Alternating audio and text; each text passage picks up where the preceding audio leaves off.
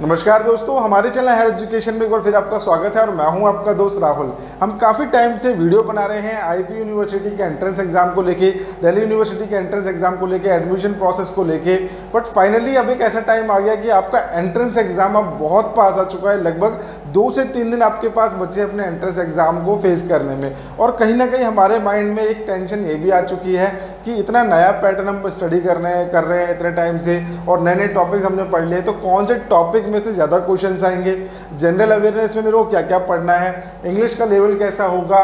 और ओवरऑल कुल मिला के मेरे को एग्ज़ाम कैसे अटैम्प्ट करना है और कितने में क्वेश्चन अटैम्प्ट करूँ कि मेरे को एक अच्छा स्कोर मिल जाए और एक अच्छा कॉलेज मिल जाए? ये बहुत टाइम से बहुत बच्चों का डाउट बन चुका है। और इस डाउट को आज मैं आपके साथ डिस्कस करके क्लियर करूँगा और आपको कुछ ऐसी सीक्रेट टिप्स और कुछ इंपॉर्टेंट टिप्स मैं आपको दूँगा जो आपके एग्ज़ाम में कहीं ना कहीं आपको हेल्प ज़रूर करेंगी। सो so फ्रेंड जल्दी स्टार्ट करते हैं इस वीडियो को। आईपी यूनिवर्सिटी का कंप्यूटर बेस्ड टेस्ट जो आप अटेम्प्ट करने जा रहे हैं, उसमें आपको 150 मिनट्स दिए जाएँगे, जिसके अंदर 400 मार्क्स का क्वेश्चन पेपर आएगा। टोटल नंबर ऑफ़ क्वेश्चन रहेंगे 100 और हर एक गलत आंसर पे आपको वन मार्क का डिडक्शन हो जाएगा। तो यहाँ पे मैंने कुछ पॉइंट्स पहले से ही आपके लिए लिखे हैं। सबसे पहला है understanding the pattern of exam अब देखो, हम जब इस वीडियो में डिस्कशन कर रहे हैं एग्ज़ाम के बारे में तो एक कॉमन एग्ज़ाम के बारे में बात कर रहा हूँ। जैसे कि बहुत सारे बच्चे हैं जो बीबीए एग्ज़ाम दे रहे हैं, वो भी इस वीडियो को देख रहे हैं। बीसीए वाले भी देख रहे हैं बीजेएमसी वाले भी देख रहे हैं बीएड वाले भी देख रहे हैं। तो ऑलमोस्ट जितने भी एंट्रेंस एग्ज़ाम आईपी में होते हैं और जो स्टूडेंट्स हमारे साथ काफ़ी टाइम से हैं फॉलो कर रहे हैं चैनल को, वो सब शायद देख रहे होंगे इस वीडियो को। अगर आप वीडियो को देख रहे हैं तो लाइक ज़रूर कर देना। सो देखने का मोटिव ये है कि हमें पता चल कि एग्ज़ाम में क्या, किन बातों को ध्यान रखना है। तो हमारे पास अलग अलग कोर्सेज हैं, सबका अलग अलग पैटर्न है और सबका अलग अलग वेटेज है। और इन सब का वेटेज आपको आईपी यूनिवर्सिटी के ब्रॉशर में मिल जाएगा। आपको आईपीयू की वेबसाइट से डाउनलोड करना है मैं आपको डिस्क्रिप्शन में भी दे दूँगा। तो उसमें आपको डिटेल थोड़ा मिल जाएगा कि आपका एग्ज़ाम के पैटर्न में किस पोर्शन की कितनी वेटेज होती है। वैसे काफ़ी सारे एग्ज़ाम में 25 25 परसेंट के पोर्शन में, चार सेक्शन में डिवाइड करते हैं एग्ज़ाम को। अब जो पैटर्न है, उसको हम कैसे रीड करेंगे कि फोर पार्ट में सेक्शन को डिवाइड किया गया है? तो जब आप अपने एग्ज़ाम को अटैम्प्ट करोगे तो आपको सबसे पहले ये सोचना है कि मैं किस सेक्शन को अटैम्प्ट करूँ जिसमें मेरे को कॉन्फिडेंस बिल्टअप वाली फील आ जाए। क्योंकि हम क्या करते हैं कभी कभी जैसे हमारे सामने क्वेश्चन आए और हमने सबको रैंडमली क्लिक करके खोलना शुरू कर दिया, जिससे हमारा जो डर था पहले एग्ज़ाम को लेके, वो और ज़्यादा बढ़ गया। क्योंकि कुछ ऐसे भी क्वेश्चन होंगे जो आप देखोगे जो आपको पहले आइडिया नहीं होगा उन क्वेश्चन के बारे में। और कुछ ऐसे क्वेश्चन होंगे जिनके बारे में आपको अच्छे से आइडिया है। अगर आपको अच्छे से आइडिया है, फिर भी कहीं ना कहीं आपके माइंड में ये आ जाएगा कि यार, ये पाँच मेरे को नहीं आते हैं ये छः मेरे को नहीं आते। उनकी टेंशन आप पहले से ही लेना शुरू कर दोगे। तो इसलिए आप क्वेश्चन को रीड मत करो। सीरियल में एक एक क्वेश्चन को अटैम्प्ट करना है आपको। और हमेशा उस सेक्शन को स्टार्ट करना है जिसमें आप ज़्यादा कॉन्फिडेंट फील करते हो। कॉन्फिडेंट इन द सेंस कि भाई देखो अब ये वो एग्ज़ाम तो है नहीं कि आपने एक रात पहले पढ़ के जाके क्रैक कर दिया। इस एग्ज़ाम का जो कायदे से तैयारी होती है वो थ्री मंथ्स पहले आपको तैयारी करनी होती है। बट बोर्ड्स के कारण कई सारे बच्चे एक महीने में भी इसकी तैयारी कर लेते हैं। सो so, हमारे पास मिनिमम एक महीने की तैयारी इस एग्ज़ाम को क्रैक करने के लिए अच्छे रैंक लाने के लिए बहुत ज़रूरी है। इसके बाद जो सबसे सेकेंड पॉइंट क्या है प्रीवियस ईयर के क्वेश्चन पेपर आपको अटैम्प्ट करने हैं। और जहाँ से भी आपको सोर्स मिलता है, आप उनको डाउनलोड करो। और प्रीवियस ईयर का आपको पैटर्न देखना कि यार पिछले कुछ चार सालों में किस टाइप के क्वेश्चन आंसर पूछे गए हैं और क्या खास रहा है उस पैटर्न में कौन से सेक्शन में सबसे ज़्यादा क्वेश्चन पूछे गए हैं, वो आपको ऑब्ज़र्व करना है अपने अपने एग्ज़ाम में। फोकस ऑन स्ट्रेंथ आपको सिर्फ़ उसी सेक्शन में सबसे ज़्यादा फोकस करना है जिसमें आप स्ट्रॉन्ग रहे हो, आपने प्रैक्टिस बहुत अच्छी करी है, उसी को सबसे पहले आप अटैम्प्ट करना, आपका कॉन्फिडेंस लेवल नेक्स्ट लेवल पर पहुँच जाएगा। और सबसे बड़ा जो क्वेश्चन पूछा जाता है कि how many question to attempt क्योंकि कुछ बच्चे ऐसे भी हैं जिन्होंने शायद तैयारी उस लेवल पे अभी नहीं करी है। तो उनके माइंड में रहता है कि मैं कितने ऐसे क्वेश्चन अटैम्प्ट करके आऊँ कि मेरे को एक स्कोर मिल जाए बस। तो देखो आई यूनिवर्सिटी के एंट्रेंस एग्ज़ाम में एक नॉट क्वालिफाइड का भी सीन है। अगर आप एग्ज़ाम को क्वालिफाई नहीं करते हो लो रैंक लाना अलग बात है और नॉट क्वालिफाइड आना अलग बात है। नॉट क्वालिफाइड स्टूडेंट को कहीं पे भी एडमिशन नहीं मिलेगा आई यूनिवर्सिटी के। किसी भी कोटा में एडमिशन नहीं मिलेगा और किसी भी तरीके से एडमिशन नहीं मिलेगा। इवन आपके पास अगर लो रैंक है तो कहीं ना कहीं चांसेस बन जाते हैं अलग अलग मीन से एडमिशन लेने के। बट आपके पास एक स्कोर का होना बहुत ज़रूरी है। तो किसी भी एग्ज़ाम को पास करने के लिए 33 परसेंट मार्क्स होना ज़रूरी है। तो आउट ऑफ़ 100 33 क्वेश्चन आपको करेक्ट करके आने हैं तभी आपको क्वालिफाई किया जाएगा और क्वालिफाई करने के बाद आपको एक रैंक अलॉट हो जाएगा। सो so, अपने माइंड में फिगर बना लो 33 क्वेश्चन मेरे को अटैम्प्ट करने हैं बिल्कुल हर हाल में अच्छे से क्लियर करने हैं उनको।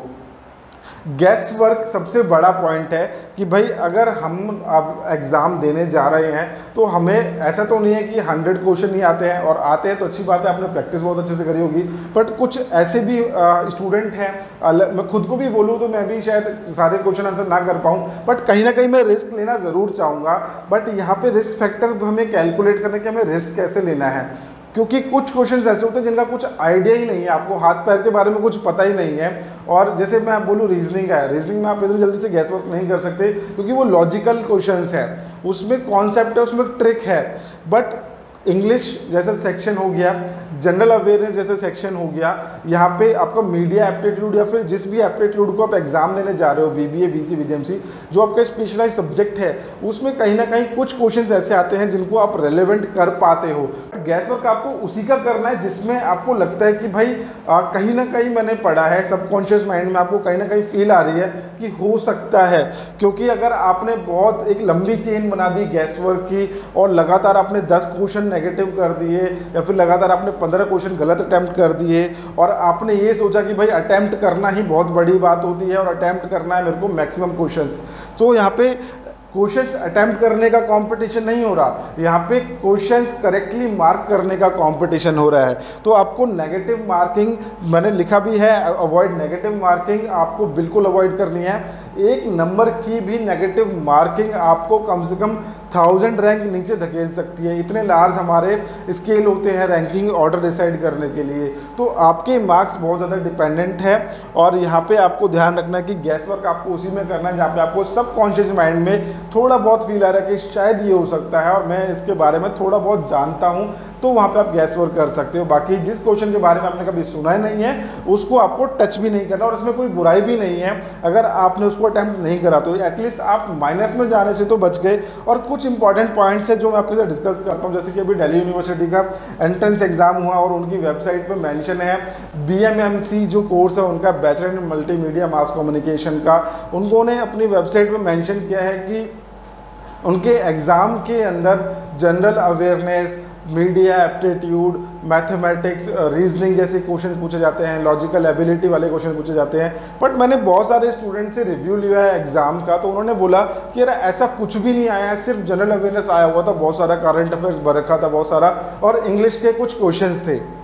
सेम वे जब मैं डी यू जेट के स्टूडेंट से बात कर रहा था तो उनका भी कुछ ऐसा ही कहना था कि, सर, जो रीजनिंग वाला पार्ट है, उसमें इतने ज़्यादा क्वेश्चंस नहीं आए थे, बस सीटिंग ऑर्डर्स के क्वेश्चन आए थे, कुछ और सीक्वेंट सीरीज़ के क्वेश्चन थे क्लासिफिकेशन के एक दो क्वेश्चन आए थे बट कहीं पे भी उनको बहुत हार्ड लेवल की रीजनिंग देखने को नहीं मिली बट वहाँ पर ज़्यादा फोकस किस पर रहता था? जनरल अवेयरनेस के ऊपर. So general awareness and current affairs बहुत ज़्यादा आया है एग्ज़ाम में बियॉन्ड द एक्सपेक्टेशन और मैंने एक पोल क्रिएट किया था अभी थोड़े दिन पहले कि how was your Delhi university DU JAT exam तो उसमें काफ़ी सारे स्टूडेंट ने मोर देन 50 परसेंट स्टूडेंट ने बोला है कि बैड एग्ज़ाम गया है तो वहाँ पे कहीं ना कहीं एक ही रीज़न है कि आपकी या तो प्रैक्टिस नहीं थी या फिर आपने जनरल अवेयरनेस वाले सेक्शन को प्रायोरिटी नहीं दी, क्योंकि हम कहीं ना कहीं डर जाते हैं लॉजिकल रीजनिंग को लेके। तो हम सबसे पहले एज अ मैथ्स हम उसको लेने लग जाते हैं कि हमारे सारे सब्जेक्ट्स में लॉजिकल रीजनिंग मैथ आ गया है। अब आपको मैथ्स पढ़नी पड़ेगी उसकी प्रैक्टिस करना सबसे पहले ज़रूरी है।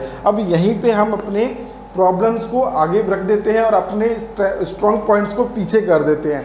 अब आपको लग रहा होगा कि मैं शायद कुछ लंबा बोल रहा हूँ इस बारे में बट आप ध्यान से सुनो, अभी भी आपके पास तीन दिन है। आपने जो कॉन्सेप्ट्स पढ़ने थे, वो पढ़ चुके हो, उनको पीछे छोड़ दो। अब आपको बस अपने रिवीजन में, अपने जो लॉजिकल लॉजिकल रीजनिंग के बाद जो आपके स्ट्रॉन्ग कॉन्सेप्ट है, उन पर फोकस करना है। और जनरल अवेयरनेस में आपको मैक्सिमम पॉइंट्स की स्टडी करनी है।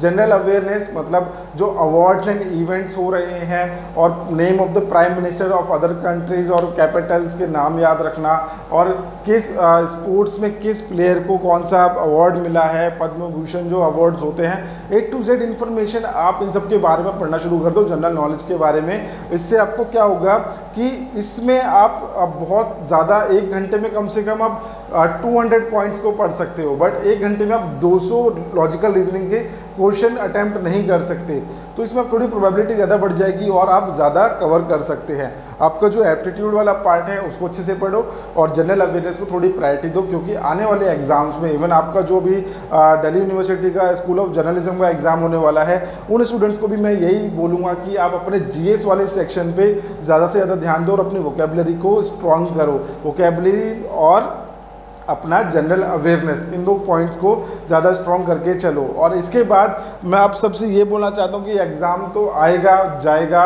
और हम स्कोर भी कर लेंगे कॉलेज में एडमिशन भी ले लेंगे। अभी तो मैं आपको बहुत सारी इन्फॉर्मेशन देने वाला हूँ यूनिवर्सिटी को लेके कॉलेजेस को लेके। बट इस एग्ज़ाम को देने से पहले आपको स्ट्रेस नहीं लेनी है, बिल्कुल भी। एग्ज़ाम देने से पहले अपने आप को बिल्कुल काम रखना, बिल्कुल रिलैक्स रखना और एक रात पूरा जगना मत कि भाई मेरा कल एग्ज़ाम हो तो आज रात को मैं पढ़ लूँ बस।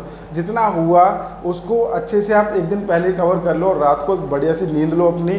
चाहे तो आप मूवी देख सकते हो, अपनी कोई फेवरेट या फिर कोई मोटिवेशनल मूवी देखो और आराम से अपनी नींद पूरी करके सुबह उठ के किताब खोलने की कोई ज़रूरत नहीं है। जाके डायरेक्टली एग्ज़ाम दे दो अपना और सब कुछ अच्छा होगा और बहुत बढ़िया होगा। तो फ्रेंड्स होपफुली वीडियो आपको अच्छी लगी होगी। अगर आपको ये वीडियो अच्छी लगी है तो ज़रूर लाइक कीजिए और इन पॉइंट्स को ज़रूर कंसिडर करना। अगर आपका कोई भी डाउट है क्वेरी है तो कमेंट सेक्शन में ज़रूर पूछिए और बने रहिए हमारे चैनल हायर एजुकेशन के साथ इसी तरीके के एजुकेशनल कॉन्टेंट के लिए. Thank you so much